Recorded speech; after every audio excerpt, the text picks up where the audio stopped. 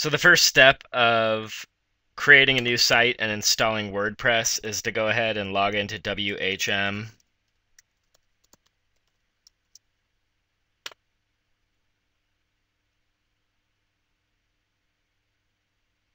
And you'll want to go over here and scroll down to account functions, create a new account,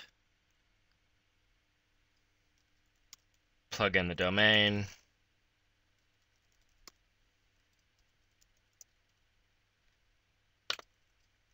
username, match it to the client.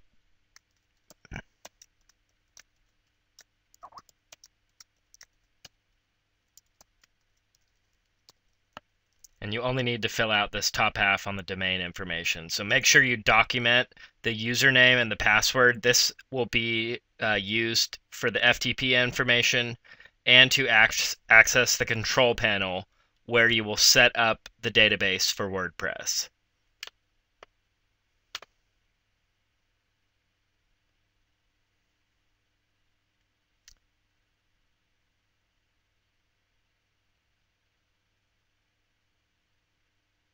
So the site is all set up and we are ready to go.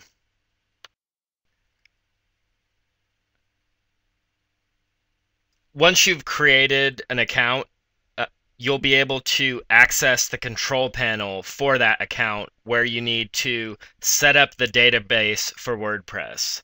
So you'll remember I told you to document the FTP information and you'll use that same information to access the cPanel. So go ahead and log in.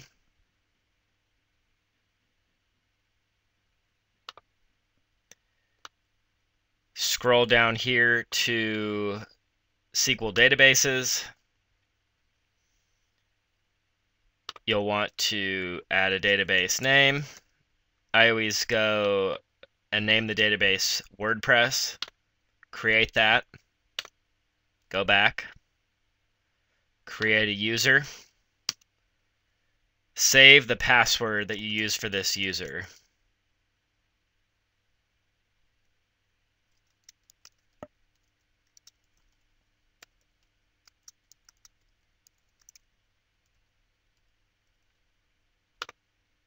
Oops. Messed up.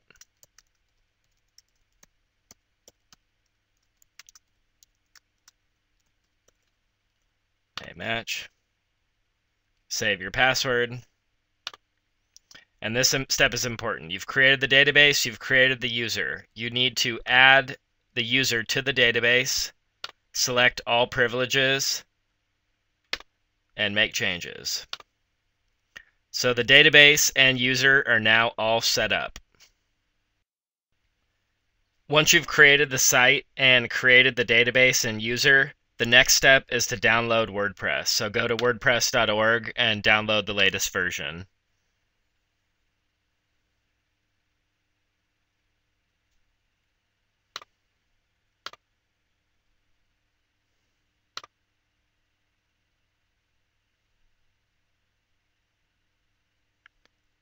One moment here.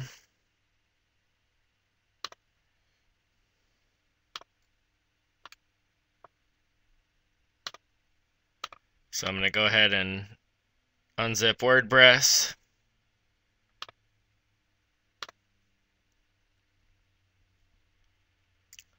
So go ahead and open up WordPress and save it to your desktop.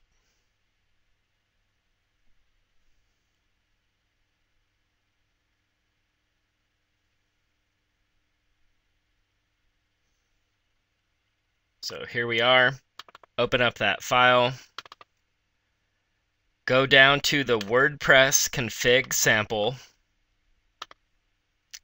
Rename it and take off the dash in the sample so it's just wp-config. Edit it.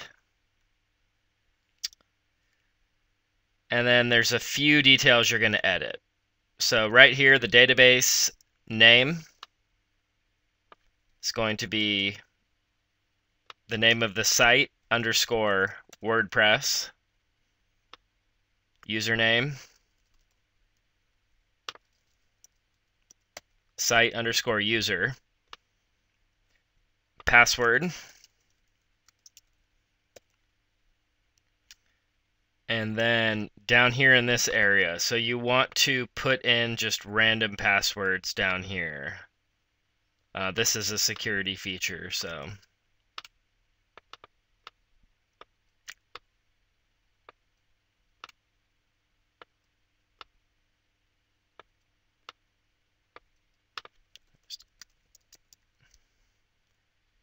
Scramble that up real good.